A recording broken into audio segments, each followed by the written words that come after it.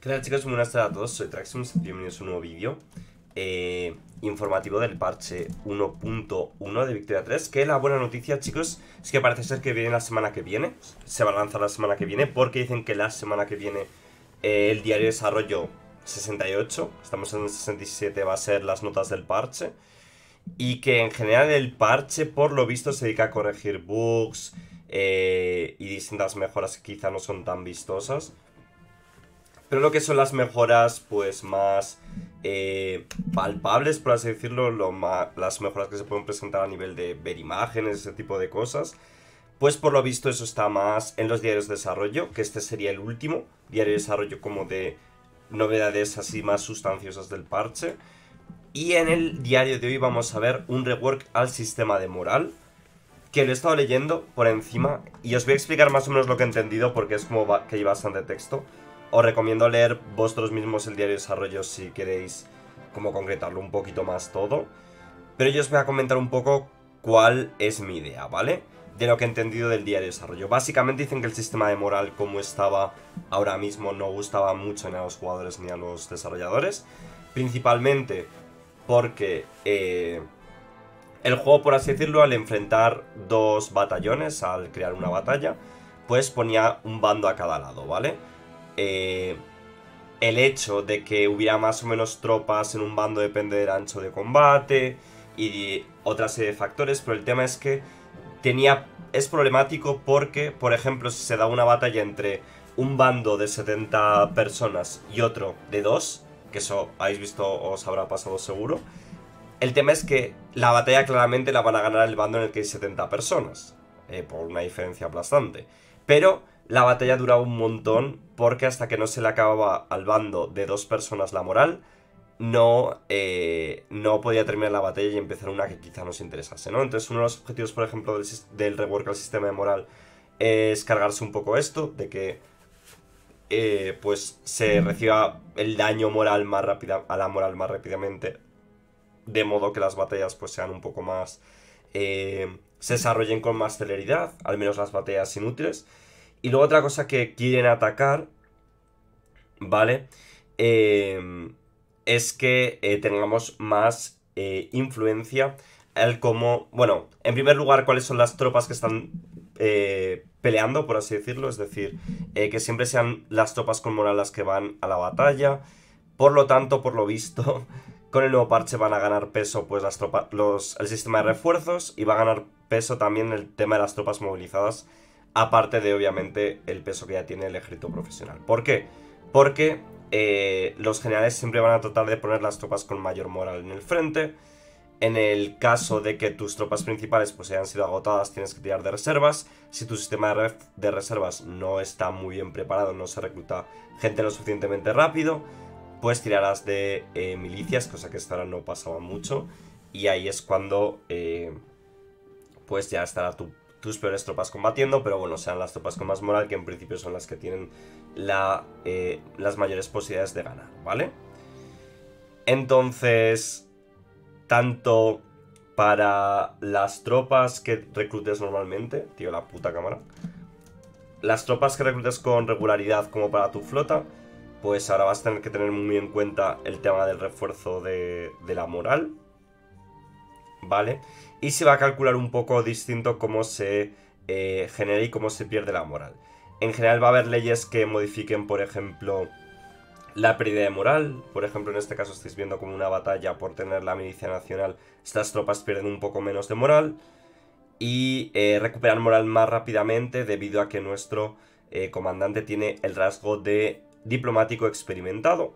Así que bueno, son cambios al sistema de moral como veis.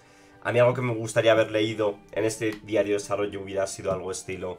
Em, hemos cambiado un poquito la interfaz de la batalla, entonces si quieres ver la moral de tus tropas ya no te tienes que venir hasta aquí, ¿vale? Que esto es algo que pasa ahora mismo en el juego, sino que se verá más clara en el vistazo general de la guerra. Creo que hay mods que esto lo corrigen, pero por desgracia en este diario de desarrollo no anuncian nada de ese estilo, lo cual ya os digo que me da un poquito de pena porque creo que era un cambio bastante solicitado en la interfaz, el hecho de que sea más eh, visible y más inteligible lo que está sucediendo en una guerra, lo que está sucediendo en un frente de. en el frente de una guerra. Y parece que este, en este diario de desarrollo, pues al menos no nos dicen que vayan a atacar ese problema que al menos yo considero que existe, ¿vale? Bueno, nos hablan aquí un poquito más... Uy, va, perdón, se me ido la eh, barra. Dice que, por ejemplo, que va a haber eh, tecnologías muy importantes para el daño a la moral. Por ejemplo, la artillería de asedio o los especialistas de, en armas químicas. O rasgos de personajes como colérico.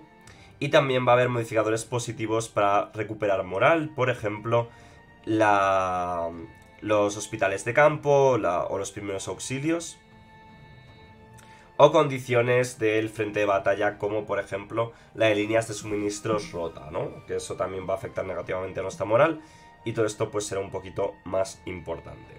Dice ahora que cuando empiecen las batallas, las unidades eh, van a tener prioridades para entrar en la batalla en general aquellas eh, unidades que estén sin moral o estén heridas van a tener poca prioridad para entrar en la batalla. Gracias Paradox, supongo que este tipo, este elemento era complicado que hubiera estado en el juego de lanzamiento, era algo muy loco pedir que eh, los generales priorizasen el hecho de que entrasen aquellas tropas con más moral a la batalla antes que aquellas que estaban heridas o no tuvieran moral. Pero bueno, Dice que debido a esto probablemente acabes en algunas batallas con menos batallones de los que se supone que vas a tener, pero que aquellos batallones estarán completamente eh, moralizados, ¿no? O sea, que el general estará mandando a la batalla esos batallones que sí que tengan moral, ¿no? Bueno, ahora vamos a ver también algunos cambios que han hecho al sistema de, de salarios militares para animarnos un poquito más a poner los salarios altos. En este sentido, cuanto más altos sean los salarios de, nuestro ejército, pues más rápidamente van a recuperar la moral, porque está reclutando gente más, más rápido. Te va a aprobar más eh, las Fuerzas Armadas y vas a tener mayor proyección de poder y por tanto más prestigio o mayor escalafón en el sistema internacional, ¿no? En este sentido, pues eso, cuanto más altas sean las, las, los salarios mejor. Aunque ya sabéis que esto implica varias cosas. Implica cosas como, por ejemplo, que si estás en la paz y bajas los salarios de las tropas, pues va a haber gente que baje su nivel de vida y por lo tanto generen radicales, etc. Va a bajar también tu prestigio porque vas a tener menos proyección de poder de tu ejército. Y por supuesto, eh, el hecho de bajar el, el, También vas a perder aprobación de las Fuerzas Armadas, por lo tanto, pues habrá que tener cuidado con revoluciones y ese tipo de cosas. Así que bueno, unos botones que no les dábamos mucha importancia, aunque esto creo que iba a recibir como más cambios a lo largo del parche, ya se había anunciado un poquito esto, pues ahora vamos a tener que tener aún más cuidado a la hora de subir y bajar los salarios de nuestro ejército, ¿vale? Dicen también que hacen algunos cambios a los, a los grupos de interés, sobre todo en torno a estos, eh, a estos puntos de aprobación. Vamos a ver que la aprobación de los grupos ya no sube en grandes puntos, ya no suben cosas como más 5, más 10, sino que van a ir poco a poco. Los cambios de, aprobación de los grupos van a ser de menos 2, de menos 1, de 0, de más 1 o de más 2. Va a haber 5 niveles de cambios, o sea que ya no va a haber eh, cosas muy bestias con los grupos de interés. Ya sé que tendremos que tener cuidado de alterarlos igualmente por, las alteraciones de los estándares de vida y generar radicales ilealistas, ¿vale? Eh, vale, otro cambio que han querido hacer es respecto a los niveles de legitimidad, que ya conocíamos algunos cambios que nos habían presentado. Ahora básicamente el hecho de eh, un cambio que han querido introducir también en este parche, que no lo conocíamos hasta el momento, es la idea de meter partidos ideológicamente muy distintos en tu gobierno, esto se está entendiendo hasta el momento en el juego como gobiernos de coalición, en los que, bueno, pues grupos de interés dispares o partidos políticos dispares, pues que no estaban totalmente alineados, unían fuerzas pues para sacar adelante leyes y reformas.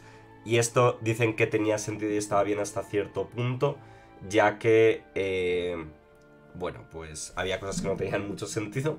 Rollo yo que sé que pusieras eh, a los sindicalistas de las Fuerzas Armadas en el gobierno, pues por ejemplo se me ocurre que no es una cosa que tenga así muchísimo sentido, entonces ahora va a haber eh, de legitimidad muy grandes cuando intentes juntar eh, grupos de interés muy dispares en este aspecto, ¿no? Otra cosa que nos han querido decir es respecto al tema de... Em, no me acuerdo que iba a mencionar, algo de la legitimidad, que... Eh, eh, eh, bueno, no me acuerdo exactamente qué más iba a mencionar, pero bueno, creo que lo importante lo hemos mencionado de todo este diario de desarrollo. Y como digo, finalmente todo lo que hemos ido discutiendo en estos, diarios en estos tres diarios de desarrollo es, es solo una fracción de los cambios que vamos a ver en la nueva actualización. Son los más visibles, pero bajo eh, estos cambios más visibles hay muchas mejoras y correcciones de bugs que han sido realizadas. Y la semana que viene, como digo, nos presentarán el listado de cambios completos de la versión 1.1 y espero que por tanto veamos también el lanzamiento de la versión 1.1 la semana que viene y volvamos a recuperar un poco el darle cañita al juego ya hasta que empiecen a hablarnos del 1.2 el año que viene. Poco más que decir chicos, espero que os haya llamado la atención este día de desarrollo. En mi opinión, ya puestos a que están tardando en lanzarla, eh, bajo mi punto de vista incluso esperaría más a lanzarla. Quiero decir, tienes todo diciembre probablemente hasta final de mes, probablemente pudieran esperar una semana o dos más para lanzar este parche. Yo sé que ya llevamos mucho tiempo esperando a las correcciones del juego, etcétera, pero como digo, muchas correcciones que se vienen en este parche, al menos así vistosas, están ya sacadas en mods y cosas así, como por ejemplo lo que vimos la semana pasada de la producción del petróleo y del caucho. Eso ya, ya hay un mod que lo hace. Entonces quizá, en mi opinión, deberíamos esperar un poquito más a este parche que fuera un poco más... tuviera un poco más de cosas. Pero bueno, quizá la corrección de bugs es muy grande, entonces eso que merezca la pena, pero yo os digo que a nivel... Espero que merezca mucho la pena a nivel de corrección de, bugs, porque ya digo, a, nivel de rewards de cosas y novedades en sí del parche, que ya sé que no es lo importante del parche, pues quizá es un poco más de sustanciado, ¿no? Pero bueno, sobre todo vamos a tenerle ganas por esas mejoras de correcciones de bugs. Y poco más, nos vemos en el siguiente vídeo chicos, cuidaros mucho, chao chao.